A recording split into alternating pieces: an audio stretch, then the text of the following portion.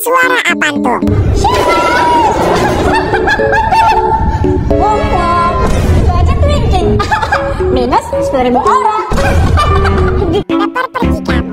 Bro, that's scam. Eh Budi gak takut sama kamu ya? Oh my god, gue pikir dia si Mamil.